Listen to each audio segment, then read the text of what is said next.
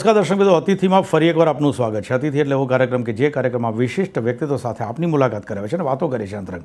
આજે આપણી સાથે છે કે એવો ચહેરો, એ પોતાના અલગ અલગ કિરદારથી તરત જ એ ચહેરો આવે ને કે અબ મજા આવેગા યાર એ દેખને મેં, ચાહે સિરિયલ હોય યા ફિલ્મ હો.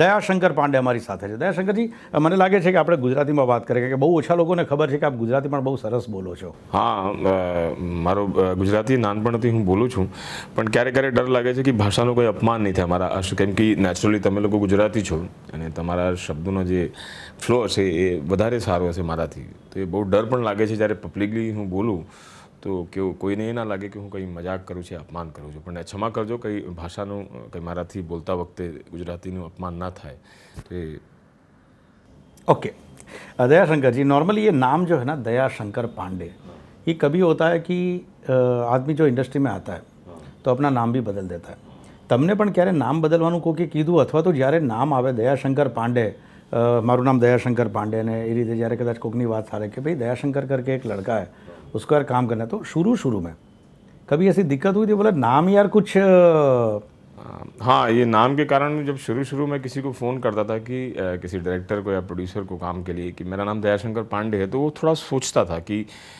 या किसी कॉरपोरेट माने किसी एडमिनिस्ट्रेटिव जॉब के लिए ये मांग रहा है काम या कि- क्योंकि दयाशंकर पांडे નામ જરા ભારે લાગતું હતું એ ભારે લોકોને. લાગતું હતું. એવું એક્ટરનું નામ નથી લાગતું એવું લાગે છે જેમ કે કોઈ અમ, કોઈ બ્યુરોક્રેટ હોય કોઈ Politician જેવું પણ નામ લાગે, પોલિટિશિયન જેવું. અને પાછળ પાંડે આવે એટલે બોલે યુપી તો બસ, યુપી થી બધા આવે. તો એ થોડી તકલીફ થતી હતી પણ ધીરે ધીરે શું છે નામ ચેન્જ કરવાનું કદાચ વચમાં થોડા મન કમજોર થયા તો આપણે એસ્ટ્રોલોજી ન્યુમરોલોજી પાસે જઈએ. પણ એ પણ મેં ટ્રાય કર્યો પછી મેં કીધું નથી ચેન્જ કરવું બહુ કોમ્પ્લિકેશન નહીં જોઈએ. દયાશંકર પાંડે મને હીરો તો બનવાનું હતું નહીં. આપણે સપોર્ટિંગ એક્ટરમાં હતો તો આપણે કંઈ એટલું નામનું ટેન્શન હતું નહીં. હીરો હોય એમાં રાજીવ કુમાર ને અને બધા એ નામને જરા ગ્લેમર હોવું જોઈએ. હા. દયાશંકર પાંડે બોલિવૂડમાં ના જામે. સાઉથમાં હોત તો બહુ ચાલે. હા. ઓકે આપણે વાત કરી કે હીરો બનવામાં આ બધું જોઈએ. પરંતુ સાઈડ એક્ટર માટે ક્યારે આ બધું જોઈએ નહીં? મારો સીધો સવાલ છે આપને. કોઈ પણ માણસ જ્યારે એક્ટિંગ ફિલ્ડમાં આવે છે ને તો ક્યારે એ ડ્રીમ લઈને તો આવતો જ નથી કે હું સાઈડ એક્ટર બનીશ. એનું પહેલું પહેલું ડ્રીમ એ જ હોય છે કે એટલીસ્ટ યાર કંઈક એવો રોલ તો મને મળવો જોઈએ. અને પછી ધીરે ધીરે ભૂખ ઉઘડતી જાય છે યુ અને પછી લાગે કે મને લીડ રોલવાળો પણ એક કદાચ મારા ટાઇટલથી યા મળવું જોઈએ. કરેક્ટ એ તમારું સાચું છે એ વિચાર. જ્યારે આપણે ઇન્સ્પાયર થઈએ છીએ ને જેમ કે હું ઇન્સ્પાયર થયેલો હું ટ્રેન્ડ એક્ટર નથી. ટીવી પર ફિલ્મો આવતા હતા સન્ડે યાદ ખબર છે? તો હું ટીવીમાં ફિલ્મો જોતા હતો. એમાં ફિલ્મોમાં જોતા વખતે હીરોને જોઈએ તો હીરો જોઈને એક લાગતો હતો. હીરો આપણે નાનપણમાં શું ઇન્સ્પાયર થઈએ? કે ગુંડાઓને મારે છે. સૌથી પહેલું આકર્ષણ એ જ હોય છે. એ ડાયલોગ ડિલિવરી અને રડવાનું, એ તો પછી જ્ઞાન થાય છે કે આ ઇમોશન છે અને બધું. પણ ફર્સ્ટ ઇમ્પ્રેશન જે હોય છે હીરોનો આપણો, એ ગુંડાઓને મારે છે. અને થોડું થોડું અંદરથી રોમાન્સ જાગે તો હિરોઈન સાથે ડાન્સ કરે સોંગ એ ઈચ્છા જાગે છે. પછી આપણે એલર્ટ થઈએ છીએ અને આત્મચિંતન કરીએ તો આપણે વિચાર કરીએ છીએ કે મને પોતાને જોઈને, મને એમ લાગતું હતું, બીજાનો કોઈ ખબર નથી કે હું હીરો મટીરિયલ નથી. બીજા સપોર્ટની એક્ટર બહુ સારા હતા. મહેમૂદ સાહેબ હતા ઓમ પ્રકાશ હતા, કનૈયાલાલજી હતા, પ્રાણ સાહેબ હતા. તો મને લાગતા હું આ ઢાંચામાં બેસી જઈશ. ઓકે તો હીરોવાળી જે હિંમત હતી ને તમને કહું ખાસ કરીને એ મારી હિંમત થઈ નહીં ક્યારે. થતી હતી તમને સાચું કહું છું હું અર્ધ સત્ય ફિલ્મ જોયેલું. તો મારા ફ્રેન્ડને એ સ્કૂલ ડે હતા એ લોકોને ખબર પડી ગઈ મને એક્ટર બનવાની ઈચ્છા છે. તો એ લોકો મને ચાર્જઅપ કરતા હતા. ઓમજી મને એની સાથે કામ પણ કર્યા હું બહુ થેન્કફુલ છું. કે એ હા सकते हैं ये बंदा बन सकता है तो तुम क्यों नहीं बन सकता પણ એવું નથી હી ઇઝ મોર હેન્ડસમ ગાય તમે એક પર્સનાલિટી હોય છે હવે હું એમની સાથે કામ કરું છું મને ઓળખે છે જ્યારે તમે ઊભા થાઓ ને you feel like something is standing in front of you a personality છે ઓમજીની એમની અવાજ એમના બોલવાનું અને એક્ટર કેવી એ તો મહાન છે તો એ આપણા નાનપણના જે વિચારો છે ને એ તમને તમારી સાથે શેર કરું છું તો મને દોસ્તો કહેતા મને સારું લાગતું હતું કે હા યાર હું પણ બની શકીશ તો સપોર્ટિંગ એક્ટર હું મેન્ટલી બહુ પ્રિપેર્ડ સપોર્ટિંગ એક્ટર એટલે સારા એક્ટર બનવું હતું, તમને કહું ઓનેસ્ટલી કહું છું. સપોર્ટિંગ એ ટાઇટલ નથી કે હું સીન કરું અને લોકો મને યાદ રાખે. એ મારી ઈચ્છા હતી કે હું કામ કરું અને લોકો મને કહે કે, હા, તમે એ ફિલ્મમાં બહુ સારા કરેલા. એ મારી ઈચ્છા હતી. હવે લીડ રોલ કે રોલનો સારો મને એક કન્ટેન્ટ હોય, એ ઈચ્છા જાગે છે કે સારો રોલ મળે વેરાયટીનો રોલ મળે એ કરવાની. પણ એવું નથી કે કે મને લીડ રોલ કરવું છે અને મારા નામથી ફિલ્મ એવું ભગવાન આપે તો બહુ મહેરબાન છું. મેં થેન્ક યુ કહીશ. પણ સારા રોલ માટે ભૂખ તો દર વખતે રહે છે. આપે કીધું કે હું ટ્રેન્ડ એક્ટર નથી. દૂરદર્શનમાં ફિલ્મો જોતો હતો અને પછી મને આ થયું. તો એ એ એ જે પહેલી એન્ટ્રી હોય ને કારણ કે ટ્રેન્ડ એક્ટર ના હોય અને પછી એક આ વર્લ્ડમાં ઘૂસવાનું છે. તો એ એન્ટ્રી આજની તારીખમાં પણ લોકો જે ટ્રેન્ડ પર્સન હોય છે એ લોકો માટે પણ અઘરું હોય છે. તો એવા સમયે પણ જઈને સીધું તો કંઈ કહી ન શકે ને કે યાર મને લઈ લો ઉઠાઈ લો. અને આ તો કાંઈ એવું નથી કે ચાલ ભજન મંડ લીએ ચલો તુમ ભી મંજીરા બગાના શરૂ કર દો. એસા તો નહીં હે ના. તો એવા ટાઈમે પણ એન્ટ્રી ફર્સ્ટ એન્ટ્રી હશે. હું માનું ત્યાં સુધી રેફરન્સથી કોઈ ગોડફાધર ના ગોડફાધર તો તમને કહીશ હું આ લાઈનમાં છે ને, તમારામાં કંઈ હશે ને, તો જ તમારો કોઈ ગોડફાધર કે ગોડ બ્રધર બનશે. તમને ઓનેસ્ટલી કહું છું. કે હું કોલેજમાં મારું કમ્પ્લીટ કર્યો મેં, અને કોલેજમાં આસિત મોદી મોદી મારાથી સિનિયર હતા. અમે લોકો હતા કોલેજમાં બહુ ઇન્ટર કોલેજ ડ્રામા બહુ અમે એગ્રેસિવલી કરતા હતા. કોલેજમાં હીરો હતા બહુ લોકપ્રિયતા હતી. પછી એટી નાઇન મારું કોલેજ જ્યારે કમ્પ્લીટ થયું જ્યારે ત્યારે એ વખતે બોલિવૂડમાં ડીડી વન હતો અને સિનેમા. બે જ સોર્સ ઓફ એક્ટિંગ હતી એટલા ચેનલ હતા નહીં. તો જ્યારે સચ્ચાઈનો સામનો થયો તો બધું હીરોગીરી નીકળી ગઈ. ફોટા લઈને જતા હતા. પહેલાં તો ફોટો હવે તો બધા વોટ્સઅપ અને ઈમેલ થ્રુ ફોટો જાય છે. બધા પહેલાં ફોટા આપવા માટે. હા ડોર ટુ ડોર જવું પડતું હતું. ડોર ડોર મને અને એ પણ મેન માણસ નહીં ડાયરેક્ટરને નહીં મળે ફોટા. એના એસિસ્ટન્ટ એસિસ્ટન્ટ મળે. એ ટાઈમ આપે એ જ એક સુખ મળતો હતો કે યાર એને ફોટા લઈ લીધું આ. પણ તમને મારું એક વાત કહું એક મારી ઓનેસ્ટલી મને આજ સુધી ફોટા જોઈને કામ નથી મળ્યું. ઓકે હું. જેને ફોટા જ્યાં હું વધારે સ્ટ્રગલ કરું એ મને આજ સુધી કામ નથી આપ્યું. મને ખબર હતી કે મારી પર્સનાલિટી એટલું ગ્રેટ નથી મને કે મારા મને કોઈ ફોટા જોઈને એમને કે આ છોકરો ગ્રેટ છે. કોઈ નહીં. મને ખબર મને ખબર હતી કે મને કરવું પડશે કર્મ અને કર્મ જોઈને મને કામ મળશે. એ મને કોન્ફિડન્ટ હતું. તો હું એસિસ્ટન્ટ બની ગયો જ્ઞાન સહાયનું એસિસ્ટ કરતો હતો. એ સિરિયલ ડિરેક્ટ પણ કરતા હતા. તો એમાં હું એક મારું ઇન્વોલ્વમેન્ટ હતો કે હું આ રોલ હું કરું? હું એવી રીતે રોલ માંગતો હતો કે એમને પણ ઓકવર્ડ નહીં ફીલ અને બીજા કામ હું એટલો મહેનતથી કરતો હતો કે એ ખુશ હતા. તો મારા ઉપર એ રોલ આપતા હતા અને હું બહુ સક્સેસફુલી કરતો પણ હતો. બહુ પેશનેટલી કરતો હતો. અને મને કોન્ફિડન્સ વધતો ગયો મારો કે હા હું કેમેરા સામે પણ એક્ટિંગ સારી રીતે કરી શકું. સારી એટલે અત્યારે કોઈ મહાન નથી, પણ એક મને હતો કે મારો થોડા કોન્ફિડન્સ ખુલતો ગયો પછી કરતાં કરતાં આશુતોષ ગવારીકર એ બીજા કોલેજમાં હતા અમે કોમન ફ્રેન્ડ હતા. એ પહેલી ફિલ્મ પહેલાં નશા બનાવતા હતું. ફિલ્મ મને મને ખબર આવી કે ફિલ્મ કરો તો. સંજય છેલ છે, એમાં ડાયલોગ લખતા હતા ને એસિસ્ટન્ટ હતા. મને કીધું, એક રોલ એ કરેગા? બોલે હા હા, કરેગા. તો મારી પહેલી ફિલ્મ અને આશુતોષની પહેલી ફિલ્મ તમે સાથે કર્યા. પછી એની ફિલ્મ બાઝી હતી. બાઝી અમે કર્યા. બાઝીમાં ચલતા વખતે મને આમિર ખાને નોટિસ કર્યું. અને હું કોઈ out of the way impress કરવા નથી જતો. મારું બિલીફ છે કે આપણે એક્સ્ટ્રા પ્લીઝ કરવાનું ક્યારે પણ પ્રયત્ન નહીં કરવું જોઈએ. ચાહે કોઈ પણ ફિલ્ડમાં હોય, ચાહે નેતાગીરી હોય, ચાહે એક્ટિંગ હોય, ચાહે પાનની દુકાન હોય. જે આપણે નેચરલ સ્વભાવ છે એ જ રહેવામાં હું માનું છું મને. ખબર નહીં, બીજા લોકો સફળ થતા હોય. મને એક્સ્ટ્રા પ્લીઝિંગ મારા નેચર નથી, મને. હું મહેનતમાં બહુ બિલીફ કરું છું ને ઉપરવાળામાં કે ભાઈ, આપણે મહેનત કરીએ અને મહેનતના રિકરિંગ ડિપોઝિટમાં આપણે જે નાખીએ, એક દિવસ ભગવાન એનું ચેક આપશે જ. એ મને બિલીફ છે. તો કરતા ગયો આમિર નોટિસ કરતો હતો અને એને મને પછી ગુલામ કરી અમે ફિલ્મે પછી એને આશુતોષ અને આમિર કરતા હતા. પછી લગાન વખતે મને એ લોકો ઇન્ક્લુડ કર્યા. આફ્ટર લગાન થોડું મારા માટે ઇઝી થઈ ગયું. બોલિવૂડના ટોપ ડિરેક્ટર એક બેનર એક સિક્કો લાગી ગયો એક એક સફળ ગુલામ પણ એ મોટી ફિલ્મ હતી. પણ શું હતું કે એક માણસનું બેડ ફેસ હોય છે. મને ક્યારે ક્યારે શું થાય છે?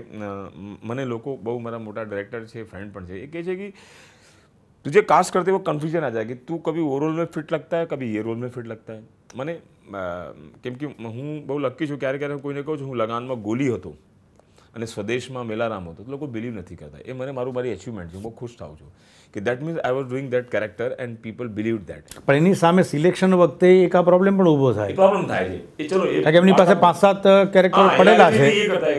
કેમ કે બોલિવૂડમાં સફળ થવું હોય તમારી બ્રાન્ડિંગ હોવું બહુ જરૂરી true true true true you need કે આ એ કોમેડી બહુ અચ્છા કરતા ઇસકો ફિક્સ કર દો એક ઇમેજ ફિક્સ થવી જોઈએ. તો એની થોડી સફળતા છે પણ મને લાગે છે ચાલે છે યાર. લોકો મને કન્ફ્યુઝનમાં જોઈએ તો બહુ સારું. એક્ટરની ઓળખ મને મારી બિલીફ છે મને કે મને એન્જોય કરવું છે. મને તમે શનિદેવ હું રોલ કરતો હતો સિરિયલ તો લોકો માનતા નહીં કે હું ગોલી જ શનિદેવ છે મેં ઓનેસ્ટલી કહું છું. તે મારી અંદરથી બહુ તૃપ્ત થતો કે આ મારી અચીવમેન્ટ છે. હવે હું ચાલુ પાંડે કરું છું અને શનિદેવ લોકો માનતા નથી. રાઈટ ના ના ના અહીંયા અહીંયા રોકું છું. સમય થયો છે એક વિરામનો. આ જ વાત કરીશું કે કોઈ એક કેરેક્ટરમાં ફિટ થવું it's a good thing or bad thing કે પછી ફ્યુચર માટે? ટાઈમ થયો છે એક બ્રેકનો દર્શક મિત્રો વિરામ બાદ વાત કરીશું આપણે દયાશંકર પાંડેજી સાથે.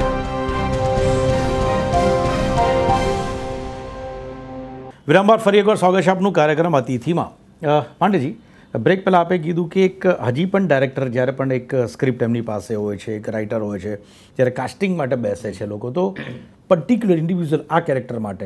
એવું થાય છે કે યાર આને શેમાં ફિટ બેસાડીએ? ના આ ચર્ચા સતત ચાલતી હોય છે કોઈ પણ એક વ્યક્તિ જ્યારે ઇન્ડસ્ટ્રીમાં આવે છે, તો either aggressive role either character કે પછી સપોર્ટિંગ રોલ કોમેડી એમાં એક ઇમેજ બને તો એના માટે લાઈફ બહુ ઇઝી થઈ જાય છે.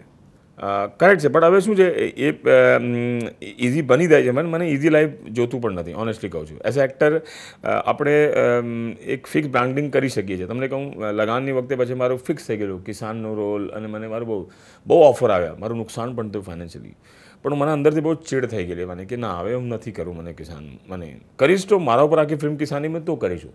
હવે બધા એ કેરેક્ટર મારી બોલિંગ એક્શનને કેશ કરવા માટે મને આઈ ડોન્ટ લાઇક ઇટ મને તમને કહેવાની. આ ચાલુ પાંડેને બહુ લોકો બ્રાન્ડિંગ મને કરે છે મને કે ઇસમે કરે પણ મને નથી કર્યું. મને ઇન્સ્પેક્ટરનું શેડ છે ગંગાજલ મારો પોલીસ કોપ હતો પણ એક ડિફરન્ટ શેડ સાથે તો શું થાય છે તમને હવે નવું સિનેમાનું એવોલ્યુશન થયું છે. New thoughts are coming new directors coming તો આઈ એમ હેપી કે હવે મારા જેવા એક્ટર માટે એ પ્રોબ્લેમ નથી. એ રિસ્ક લેવા માટે તૈયાર છે લોકો કે ના આ અને આ રોલ આપો હવે. એ તો પહેલાંનું શું છે? બહુ બંધન હતું મને. અને ઓડિયન્સનું પણ મેન્ટલી આપણે ઇન્ડિયન ઓડિયન્સ ટ્રેન થઈ ગયેલો કે આ આવી ગયા મહેમૂદ આવે તો હસાવશે હવે. ઓ યસ આપણે ઇન્ડિયન હવે એટલા એક્સપેરિમેન્ટલ જે અત્યારે ચાલી રહ્યો છે ટ્રેન્ડ હું માનું ત્યાં સુધી લગભગ ખાસ કરીને હિન્દી ફિલ્મ ઇન્ડસ્ટ્રીઝમાં જે આપણને અત્યાર સુધી ક્યાંક લેકિંગ લાગતું હતું કે એક જ રૂટીન ટ્રેન્ડ ચાલતો હતો. અને અત્યારે બિલકુલ નવી નવી ફ્લેવરવાળી ફિલ્મ્સ આવે છે. અને એમાં આપણે કીધું એ બહુ જ ઇમ્પોર્ટન્ટ વસ્તુ છે કે કોઈ એક કેરેક્ટરને કોઈ એક આર્ટિસ્ટને તમે જે ફોર્મેટમાં જોયો હોય નેક્સ્ટ ફિલ્મમાં બિલકુલ અલગ જ ફોર્મેટમાં આવે છે. નાવ બદલાતો જતો ટ્રેન્ડ આ સિનેમાએ એક્સેપ્ટ કરી લીધો. આપ એક એવા કેરેક્ટર છો કે જે ટેલિવિઝન ઇન્ડસ્ટ્રીઝ અને ફિલ્મ ઇન્ડસ્ટ્રીઝ આ બંનેમાં પેરેલલ આપની અત્યારે ચાલુ છે. જે ટ્રેન્ડ બોલિવૂડે અત્યારે અપનાવ્યો છે નવું કંઈક આપવાનો. અનફોર્ચ્યુનેટ પાર્ટ છે એવો ખરો કે ટેલિવિઝન વ્યુઅર્સ પોતાની માનસિકતા બદલી નથી શક્યા અથવા તો પછી એ જે મેકર્સ છે સિરિયલ મેકર્સ એ લોકો હિંમત લેવા તૈયાર નથી થતા. બિકોઝ ટેલિવિઝનમાં હજી સુધી એવા trend either religious okay either comedy or social issues that's all શું છે આપણે ઇન્ડિયામાં ના હું મોટો મારું જ્ઞાન નથી મને પણ એક મારે અનુભવ કહે છે. તમે એક અમદાવાદમાં બેસીને ઓડિયન્સે કરો છો હું ટીવી હું યુપીમાં પણ મારો યુપી મારો ગાંવ છે હું ત્યાં પણ ગયો છું. હું ટીવી સિરિયલ આવતો હું બેસતો હતો મને. તો મને જોતો હતો હું. આપણે ઇન્ડિયા બહુ વિભિન્ન પ્રદેશ છે તમે જોયા હશો. આસામ અને બધાને હિન્દી બોલિવૂડ આપણું એક બહુ એક બહુ ઇમ્પોર્ટન્ટ સોર્સ છે to connect to the country આપણી જેવી બધી આ નવી સિરિયલ આવે છે ને તો આપણે ઓડિયન્સ બહુ આશાવાદી છે. બહુ લોકોને આવું જીવન જીવવું છે. તમે પણ મને તમારી પાસે કાર હશે. આઈ એમ શ્યોર મર્સડીઝની નહીં હશે. સોરી મર્સડીઝની ડ્રીમ જાગે છે જ્યારે ક્રોસ કરે છે. ઈચ્છા હોય ને જ્યારે આપણે આંખથી જોઈએ છે ને એક ઈચ્છા કે મળતી આપણી પાસે પણ હોવું જોઈએ મારી પાસે પણ નથી. તો એ જે આપણી આખી ઇન્ડિયામાં જે ઓડિયન્સ છે ને મોસ્ટલી ફિમેલ વધારે ટીવી જોઈએ છે. તો ફિમેલ જ્યારે જોઈએ છે સારા સેટ જોઈએ છે સારા સાડીઓ જોઈએ છે તો એક હોપની એક સંતુષ્ટિ માટે એ લોકો જોઈએ છે. એમાં સારી એનું ડ્રીમ ફૂલફિલ થાય છે ત્યાં. હા. અને એ મને લાગે છે એક તો ફ્રીમાં હોય છે તો ફ્રીમાં હોય છે તો ક્યારે એક સુખ મળે છે જોવાનું. જ્યારે આપણે ક્યારે કાશ્મીર જઈએ અને સારા વાદીઓમાં જઈએ ફ્રીમાં જોવા મળે છે તો કેટલો સુખ મળે છે? ક્યારે એ જ બટ સેમ આ ફિલ્મમાં પણ હતું. ના ફિલ્મમાં તમે એક જોજો. જ્યારે તમે થિયેટરમાં જાઓ છો ને બદલાવ લાવ્યા છે. નહીં બદલાવ આવે છે એ કહું છું આવશે. એ આવશે થોડા વખત લાગશે. પણ તમને કહું જ્યારે આપણે ફિલ્મ જોવા જઈએ છીએ આપણે ટિકિટ લઈએ છીએ અને જ્યારે એન્ટર કરીએ છીએ ને ડાર્ક રૂમમાં તમે પોતે ક્યારે સ્ટડી કરજો. એ પલ માટે આત્મચિંતન કરજો. તમારું કોન્સન્ટ્રેશન વધી જાય છે. Not because you are paid it's a cinema it's a different મને જે પણ એને જેને પણ એ કલ્પના હશે આ સિનેમાની થિયેટરની એ તમે જાઓ છો ને તમે અનનોઈંગલી તમે ઇન્વોલ્વ થઈ જાઓ છો. ટીવી તમે પણ ડાર્ક રૂમમાં થિયેટર બનાવી લો. તમે મોટો પ્રોજેક્ટ મને મોટો સ્ક્રીન પર એ ફીલ નહીં એ ફીલ નથી આવતો. એ તમે અનુભવ કરી શકો છો. યસ યસ યસ તો એક કરિશ્મા છે that is the power of who has made the cinema એમાં સારું સિનેમા આવી જાય તો તમને સુખ મળે છે તમને તૃપ્તિ મળે છે. ના ના ચલો બહુ જ્ઞાનની બહુ વાત એ કહું છું. ઓકે નાવ નાવ નાવ અ, આપે વાત કરી આસિત મોદી. સાથે કોલેજમાં હતા. કોલેજની વાત કરીએ. જે પ્રમાણે દેખાય છે અત્યારે દયાશંકર આટલા બધા વિચારક આટલું નવું નવું થોટ્સ અને સતત કંઈક નવું નવું રિસર્ચ કરવું પોતાની જાતમાં ઇમ્પ્લિમેન્ટ પણ કરવું દુનિયામાં ક્યાંક નવું થતું હોય તો તરત એને ગ્રેપ કરવાની કોશિશ કરવી. પણ આજ કોલેજમાં નહીં હોય આ કેરેક્ટર કોલેજમાં હટકે કેરેક્ટર હશે ના, તમને કહું, આટલી સિન્સિયરિટી કોલેજમાં હતી કે મસ્તી બસ્તી? મસ્તી તો હું મારા જ છે એ તમે મારા કામમાં પણ જોઈ શકો છો. જ્યારે શું છે જ્યારે તમારો જે કલા એવી છે ને બહુ રાઇટર બહુ સિરિયસ હોય છે. તમારા બહુ થિન લાઈન છે writer એક્ટરનું between there on nature and the what they are coming out you must be મને તમને ખબર હશે. તમે પણ મસ્તીખોર હશો જ તમે એમ શ્યોર તમે બહુ પણ શું છે ક્યારે પણ મસ્તી બે તરીકાની હોય છે એક મને. એક બિલીફ અને એક વિચાર સાથે હોય છે. રસ્તા પર બહુ લોકો મસ્તી કરે છે મને. બહુ. એ મસ્તી અને એક સેન્સિબલ મસ્તીની જરૂરત હોય છે. કોલેજમાં પણ અમે લોકો કોલેજમાં મારા આશિષ મોદી સિનિયર હતો. અને એ ગુજરાતી થિયેટર, એ અમારા કોલેજમાં હિન્દી, ગુજરાતી, મરાઠી બેચ હું હિન્દી માઇન્ડ પણ મને ને ગુજરાતી પણ કરવું હતું. હું એક પ્લે તીન બંદર નામ તો છે, તમને આજે પ્રભુ જોશીનું. એ પ્લે ચાલતો એમાં આસિદ એક્ટિંગ સંજય છેલ ડિરેક્ટ કરતો હતો. એમાં એક નાનો રોલ છે, તમને ખબર છે પ્લે એ વિલનનું. તો સંજય છેલ કે, તું કર તારી આવાજ અચ્છી છે, તું કર. હું ગયો, મને તો એક્સાઇટમેન્ટ પ્લે કરવાનું હતું. તો એ ડાયલોગ હતો, બે ડાયલોગ હતો. હું માર્યો નથી, અને બીજો હું મારવાનો વિચાર છે. બે જ ડાયલોગ હતો. તો હું બહુ રટીને કરતો હતો મને संजय छल के तू गुजराती सीख ले गुजराती थिएटर में ऐसा तेरे से एक्टर की ज़रूरत है और ये वक्त है कि देखो तेरे को 500 700 कवर मिलेगा तू तेरा कैटेगरी फिक्स है तो હું Gujarati started learning okay Gujarat Samachar Mumbai Samachar મોટો મોટો બ્લોક આવતો હતો હું એમ જોડી જોડીને વાંચતો હતો અને મારા હું જ્યાં રહું છું મુંબઈમાં બધા નેબર્સ ગુજરાતી છે તો ભાષા શું છે તમારા કાનમાં જે આવે છે ને ઇટ બિકમ નેચરલી તો દેટ એના માટે મારી ગુજરાતી સારી થઈ ગઈ છે. અને ખબર સારી છે ખબર નહીં નથી આપણે મસ્તીની વાત કરતા હતા કે એકાદી મસ્તી એવી એવી મસ્તી એની વાત કરીશું એક વિરામ બાદ. દર્શક મિત્રો સમય થયો છે. વિરામનો મસ્તીભરી વાતોને કંઈક અલગ અંદાજ અને અલગ શેડ્સ દયાશંકર પાંડેના જોઈશું. આ બ્રેક પછી.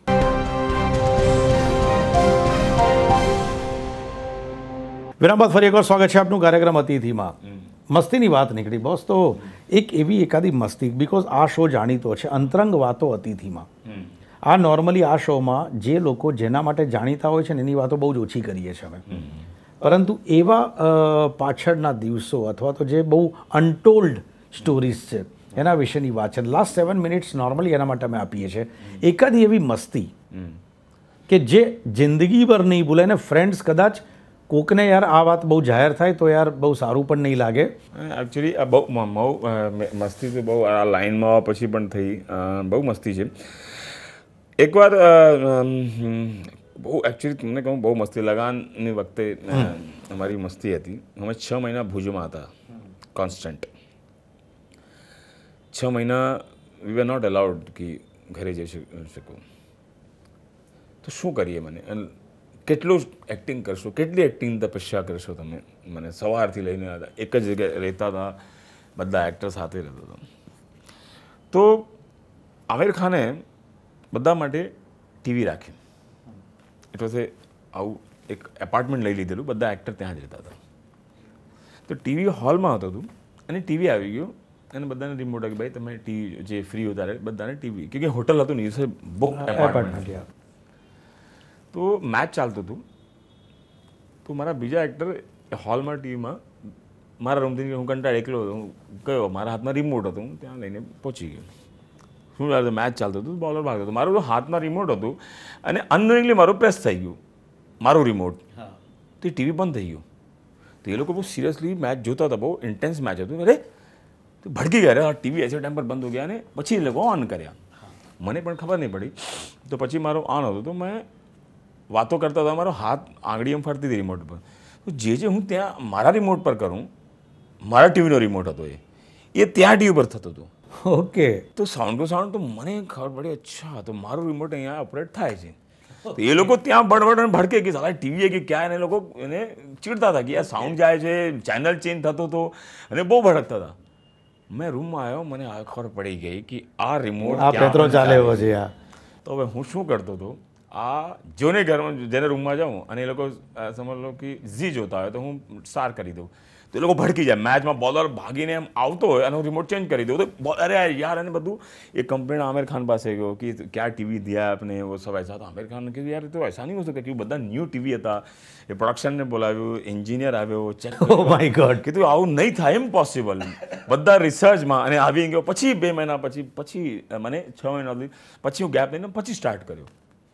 तो मैंने रिसर्च થયું कि होता कब है बोला जब वो गोली आता है ना तभी होता है मैंने when I go to the room अच्छा ये सब बदमाशी इनकी है आगे एक દિવસ મને કીધું મેરે રૂમ में आना टीवी देखते हैं मैच चला तो હું ગયો રૂમમાં આને મારા હાથમાં રિમોટ હતું બોલે સાલા મેરા ટીવી પર છે આપ તક બિગડા નહીં તો મારો ઈગો હટ થયો કે આ બહુ સ્માર્ટ સમજે છે એને પણ કર્યો એને સમજે ને કે હું કેવી રીતે કરું છું મને હી ડઝન રિમોટનું ભલે કમાલ છે કોઈ મને આ વાયરથી કરે છે. એને લાગે હું વાતો કરતાં કરતાં ટીવી પાસે જતો હતો એને ટચ કરીને.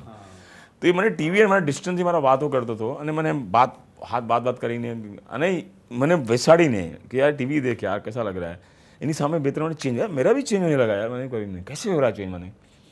પછી એ હેડ ઓફ ધ એન્જિનિયર આવ્યો. એ ટીવીનું કંપની નામ નહીં લઈ જાય આવ્યો.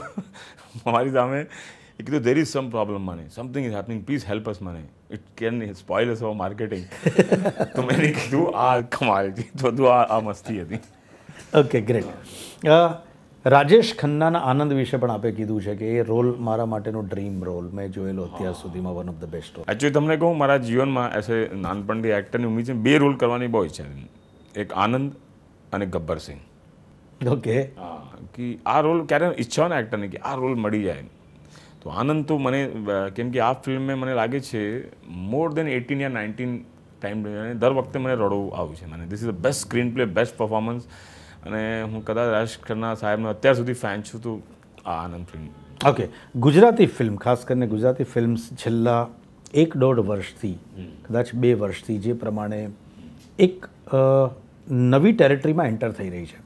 એક એવો ઓડિયન્સનો વર્ગ હતો જે બહુ જ ઓછું છેલ્લા કેટલાય સમયથી છોડી દીધું હતું ગુજરાતી ફિલ્મ જોવાનું.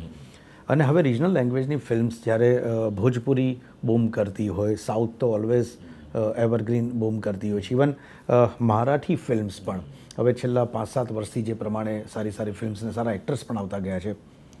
આઈ થિંક ગુજરાતી ફિલ્મ જે પ્રમાણે રિજનલ લેંગ્વેજની ફિલ્મ્સ બધી જગ્યાએ પ્રાદેશિક ભાષાઓની ફિલ્મ્સ નવા એક આયામ સર કરી રહી છે.